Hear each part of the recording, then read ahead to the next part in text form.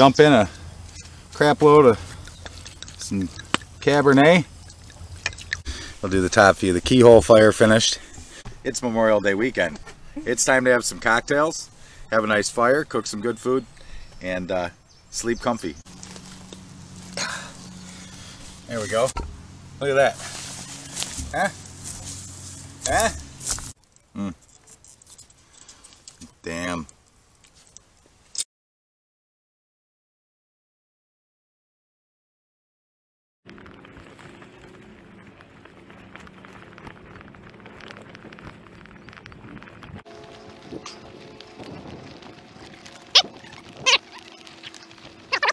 All right, here we are.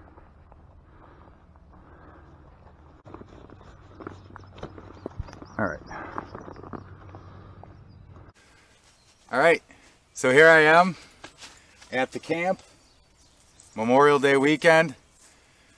Not doing a, uh, we're doing a regular camp out here. We have a cooler, brought the wagon, not stuffing everything into a backpack today. But uh, gonna have a nice camp out with the lady. She's over over this way, setting up the tent. Doing a tent, no tarp. Old-fashioned camping, but still in a beautiful spot. We'll take a little walk around in a little bit, but first thing I'm going to uh, redo this fire pit behind me. Time to get rid of the fire reflector. It's uh, been charred up pretty good over the winter, so um, and I don't really feel like cutting a bunch of firewood, so that's getting burned tonight. And uh, yeah, so I'll catch up with you later.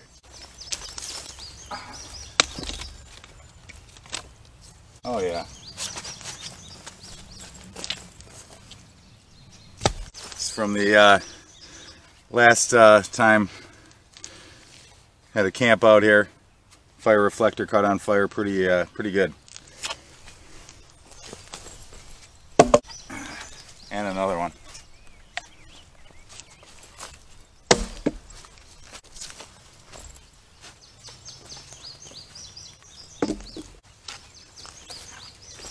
There we go.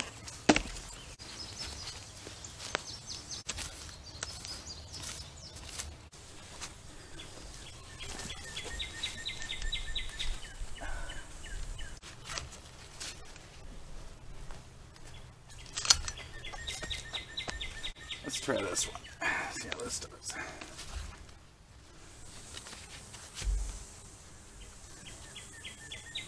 That should work out.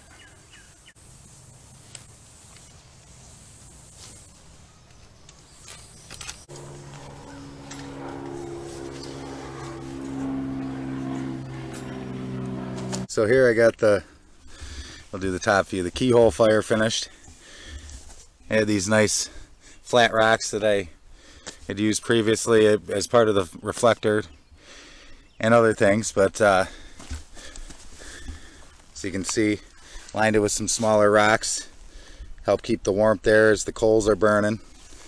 These here to hold my grill grate.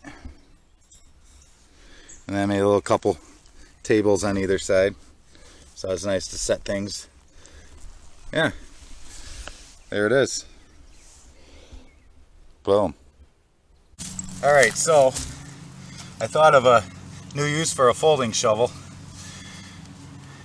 I'm gonna make a nice little table out of this thing. I can get it.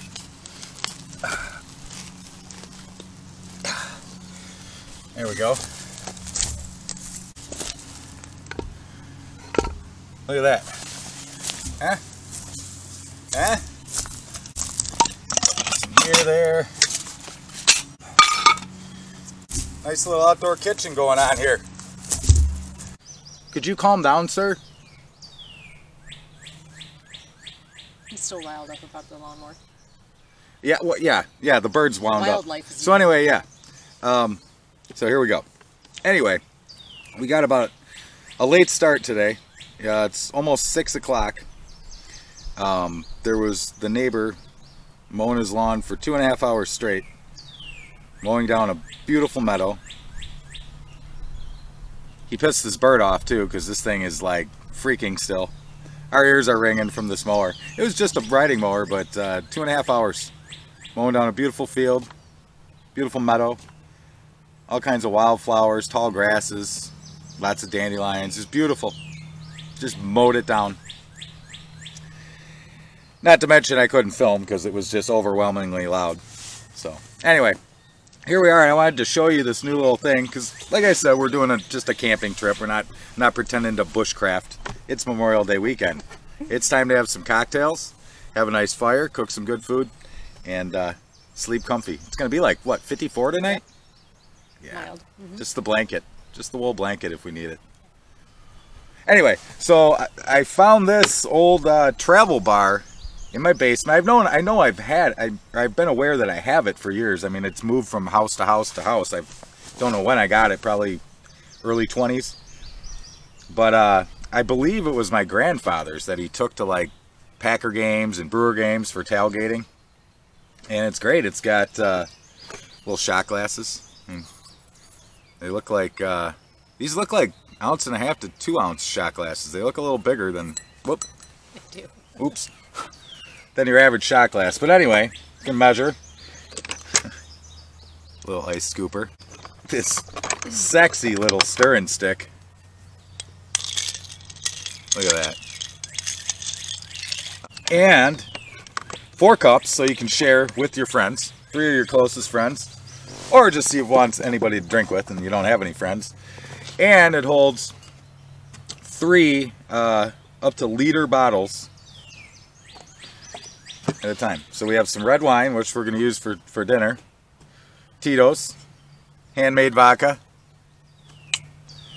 and some, uh, well, this says J Bavay, but it's actually Corbel. I had to pour it into, was it Corbel? No, it was E and J, E and J brandy. But it was a weird shaped bottle, so I had to pour it into an old bottle. Um, anyway, just wanted to share that with you. I, I, hopefully my face wasn't cut off the whole time because I'm sitting forward. But anyway, this is a great little thing. Here, you want to hold that for a sec, honey? And the best part is,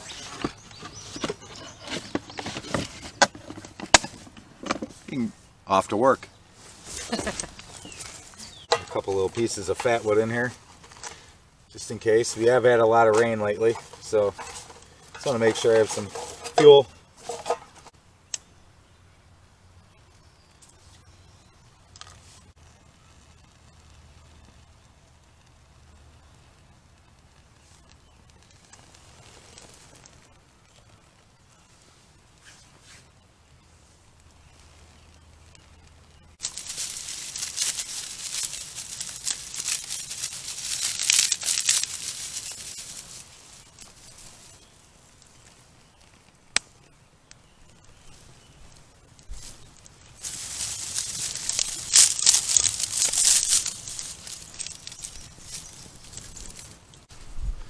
There we go.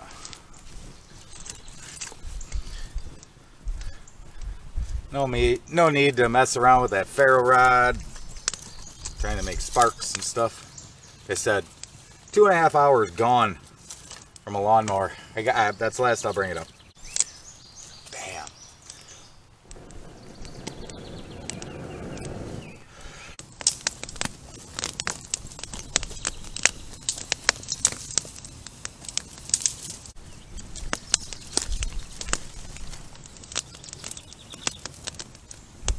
There we go. I think we're good now. So it's going to take some keeping an eye on. All right, get things rolling here. Gonna make some delicious beef short ribs over the fire. So, just cut these up so they the size where they're gonna. Whoop, that's not good. All right, I'm losing carrots on the ground here.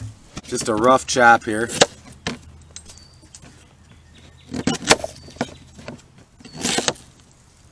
Put those in. Celery, leaves and all. Garlic once again. That's so the flavor comes out. Just a little bit. Next, we'll get the beef ready. So there's our veggies. Basically a mirepoix is what you would call it in French cooking terms. It's uh, celery, onion, carrot. I added garlic because we there's never anything wrong with garlic. All right. Next, the beef. So I don't make a big, gigantic mess everywhere and dirty out my cutting board unnecessarily, I'm gonna do this. Simple as can be, salt and pepper. They're gonna get a nice, a nice sear on the uh, the grill grate over the fire before we do anything with them. And then uh, I'm gonna do a slow braise, like I said in red wine, in that pot, sealed up for probably quite some time. I'm, it may be dark by the time we uh, get these things out. So I'm going to continue seasoning this. I'll see you over by the grill. All right, got to start getting this fire going here for the short ribs. Start browning those up. Some coals.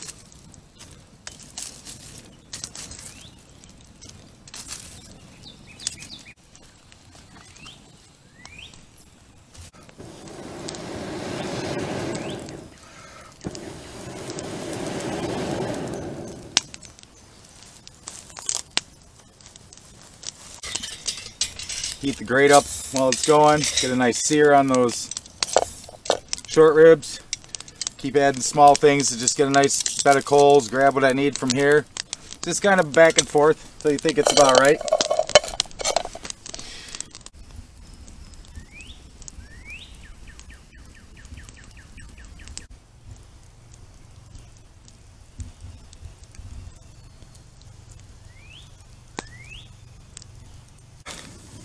For the for the beef.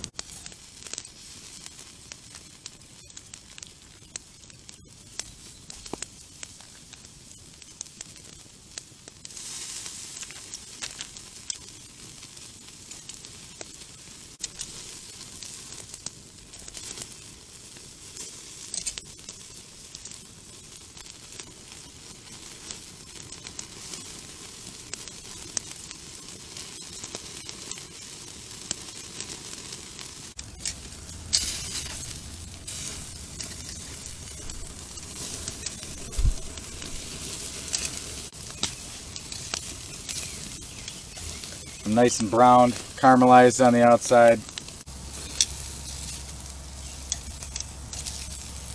That's what we want. Throw that in the pot. This one's looking mighty fine.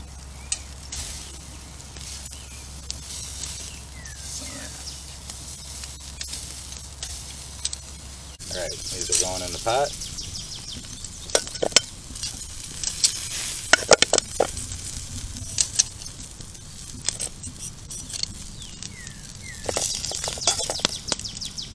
Dump in a crap load of some Cabernet. My personal favorite for cooking. I'm gonna do a good amount. Eh, a little bit more. Rest we can uh, polish off later. Cover this with foil. Want to try and keep as much of that heat in there and steam called braising. Not roasting, not frying, not baking, braising. So, that just sits here. Let her slow cook. We'll be eating when it's dark.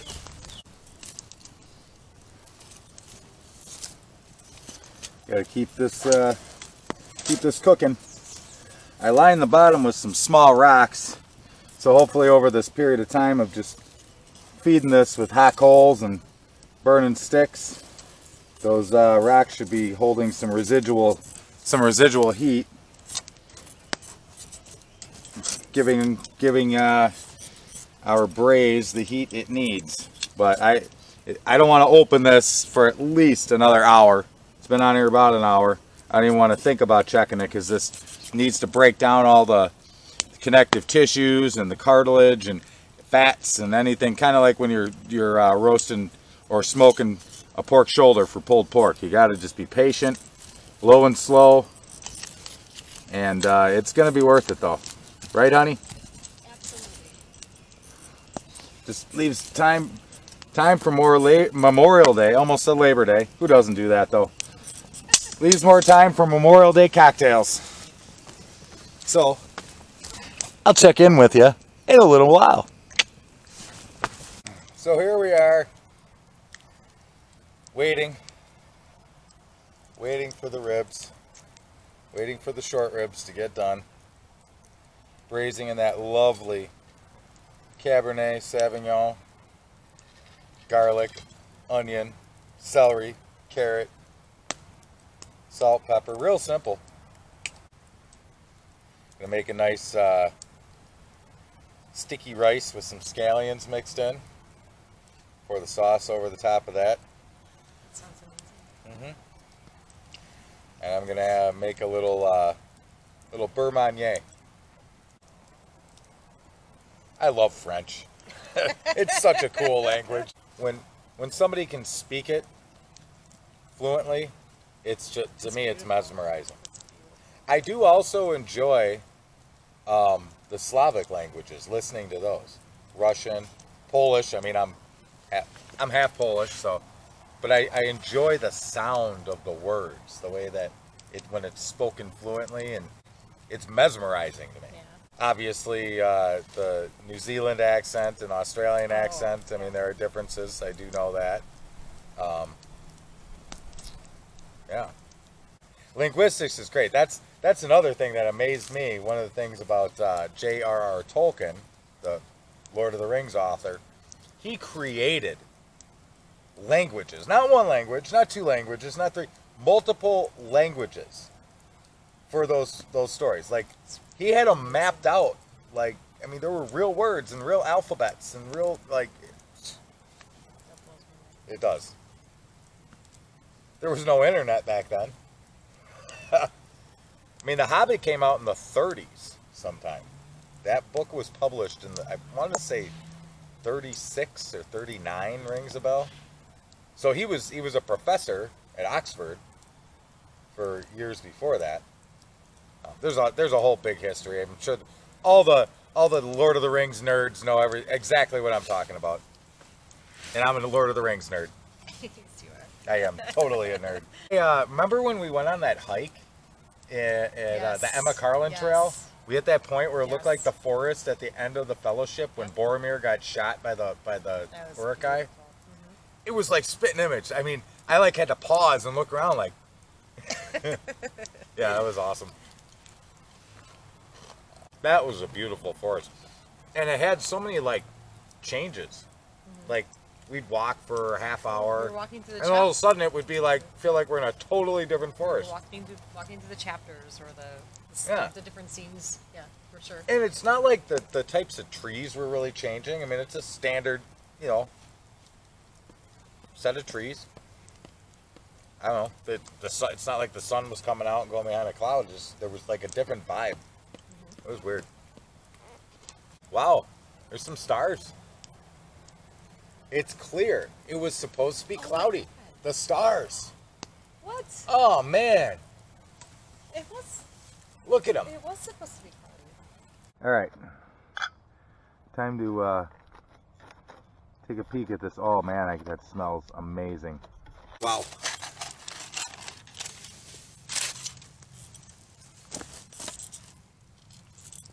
Ooh, they are a lot closer than I thought they would be.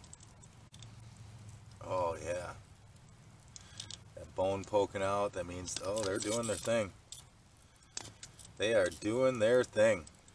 All right. I think uh, at this point, we kind of want some re- some reduction on that red wine. We can take that foil off. That can go bye bye. Yeah. We're getting there. Mm. I'm so hungry.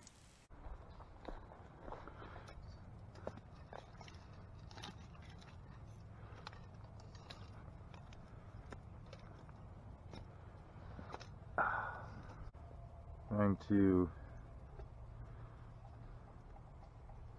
get some rice going. Reach into my goodie bag here.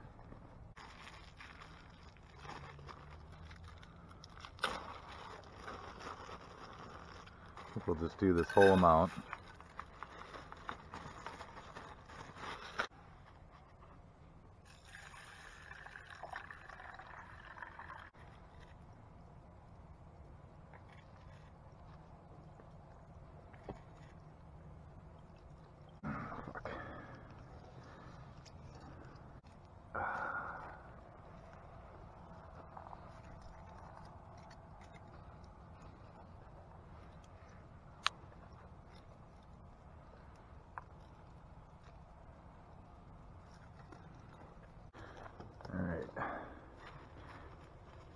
Butter out.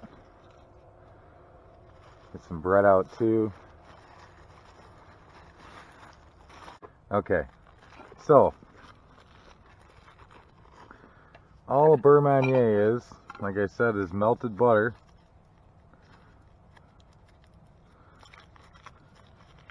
Got some nice local butter made here. We're gonna do, that's probably about two tablespoons. So here we got our butter we're gonna melt for our beurre Marnier. Just gotta get it set over here on the fire. Mix our flour in.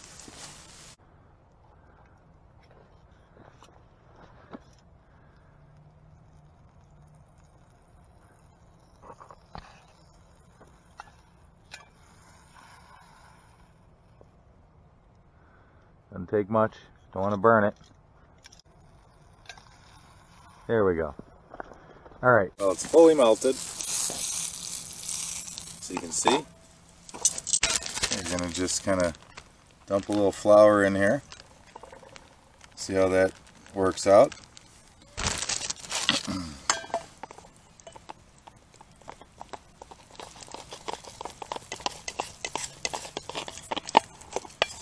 A little, a little too much flour in there.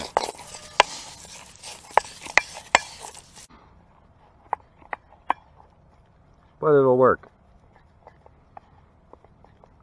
See, like it's like a roux, but you don't cook it anymore. It cooks the rest of the way in the sauce. We'll put that into the red wine. It'll thicken it up into a nice little gravy. Good to go.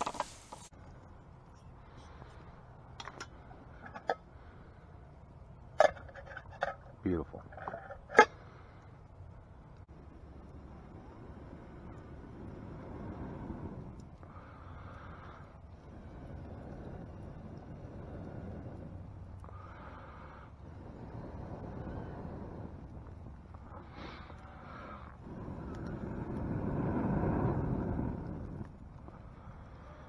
Look at those things. Pretty purples, whites. I believe this is garlic mustard. Not sure what each of these are. These might be wild violets. Kind of wilting a little bit, but still pretty. Unfortunately, it's Minnesota Vikings colors, but um. All right, so I think this rice is all done. Nice and sticky. Taste. Mm. We will set outside. Um, I can't figure out where to put anything. So we're gonna take the pork out, pork, the beef.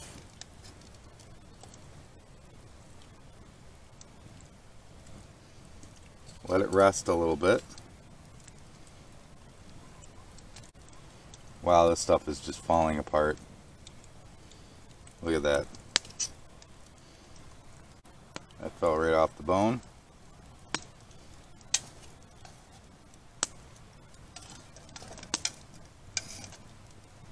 Look at how much they shrunk when they first went in there. We need to strain the sauce. Got some cheesecloth here.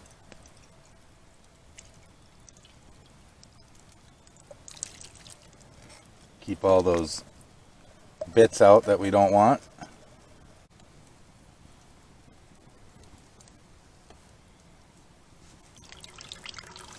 Look at that. Nothing but nothing but red wine and beef juice. Put that in there. Okay. Now we can let this reduce down a little bit. So we're just going to add some of this. Watch it thicken.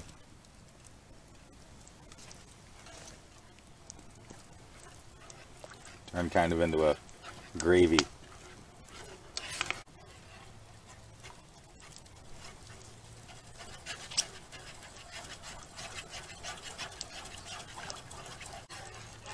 Oh yeah, now it's getting a nice, nice saucy consistency. I'll let that sit for a little bit. Cut up a little bread, grill a little bread to sap up all the goodness.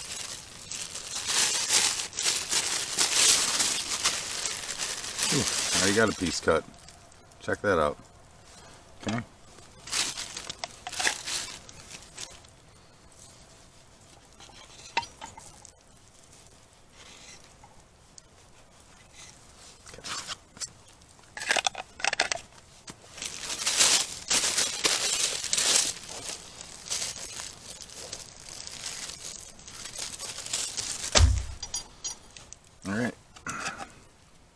Yum, yum.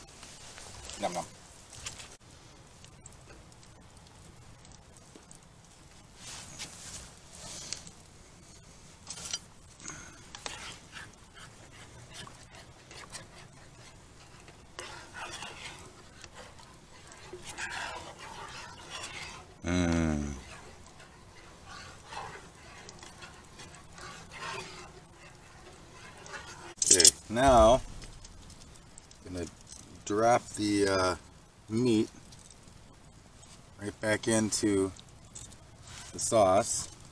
Look at those bones. Mm.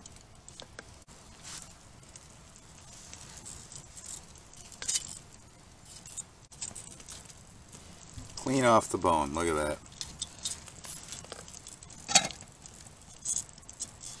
There we go.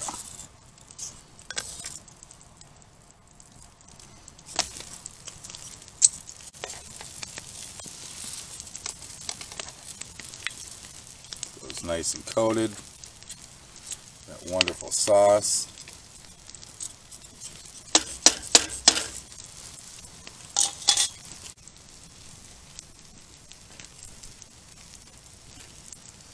Yeah, the bread's warm.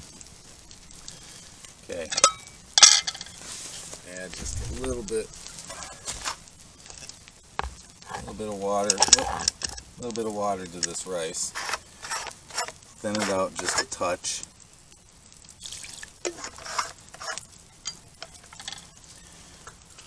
Get our scallions.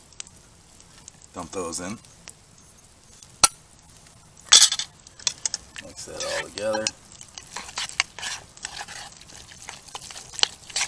A lot of rice.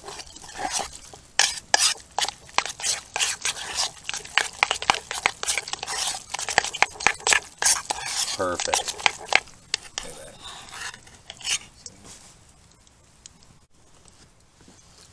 Okay, well it's serving up time. A couple pieces of crusty bread.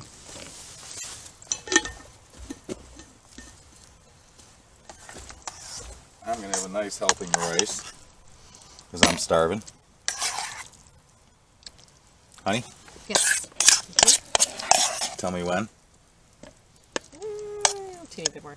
Oh, okay. Early. Whatever I don't eat, I can throw out. Alright. Now, the guest of honor.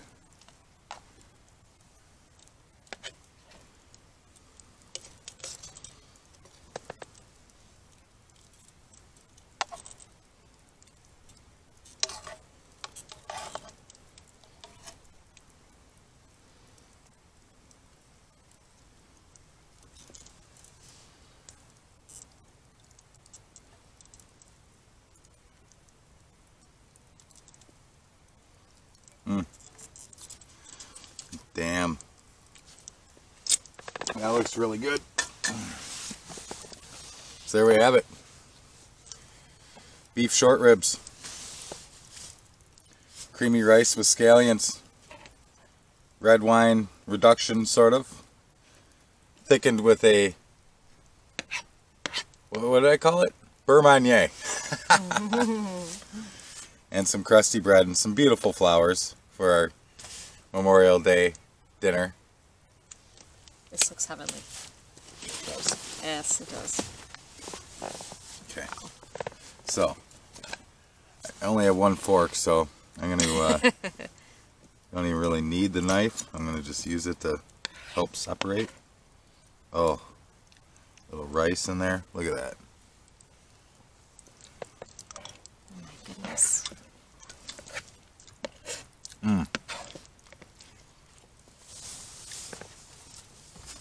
Oh my god, that's so good. Okay. Whoa. Here we go, honey. Happy Memorial Day. Happy Memorial Day. Happy El Toronto. Never mind. Our pretty flowers. Take that out. You know, should we have a little wine? A little glass of wine with dinner? Sure. Might as well. Some yellowtail. Just a little. Tell me when. Oops. Just dribbled all over your finger. Cheers. Cheers, honey. Alright, here we go. Mm. Oh, they're so good. It's literally just shredding apart. Mm-hmm. It's really good. Mm-hmm.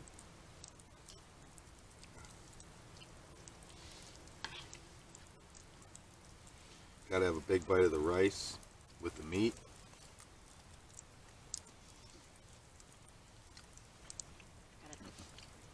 Got it. Mm.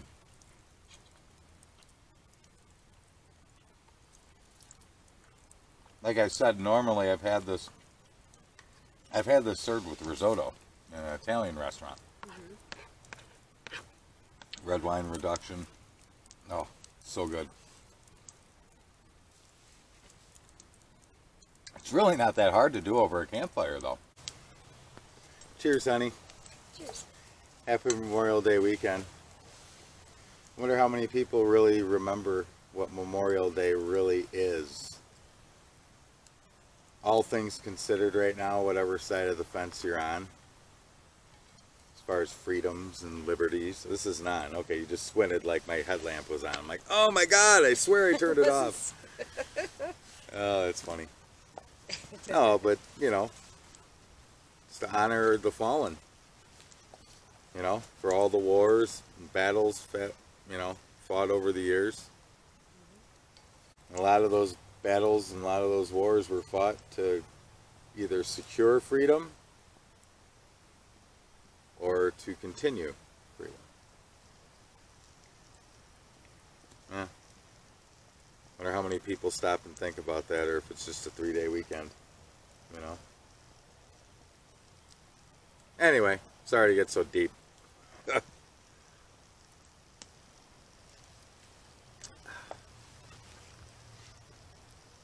It's a nice fire.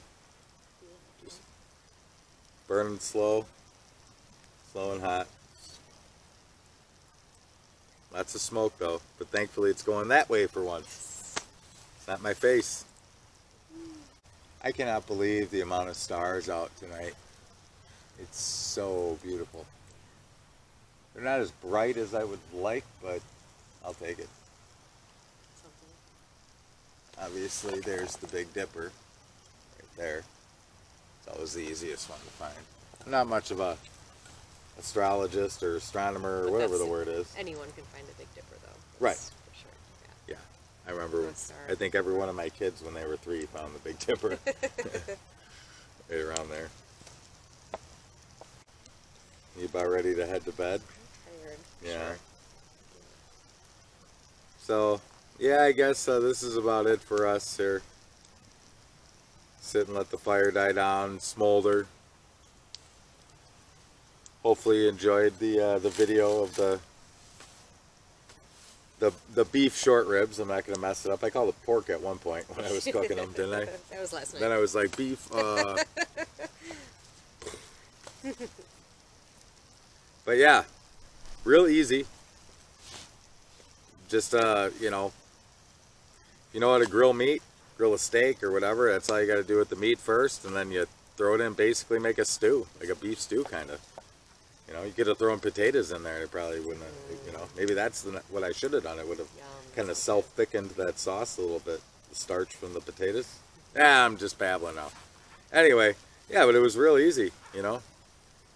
And it's it's kind of a sit and wait for it dinner, so you can sit around and relax and enjoy. It's not like a hands-on, constantly doing stuff. But uh, anyway, happy Memorial Day. We might say good night before we lay down. A little good night, a little good night wish, a little good night kiss, right?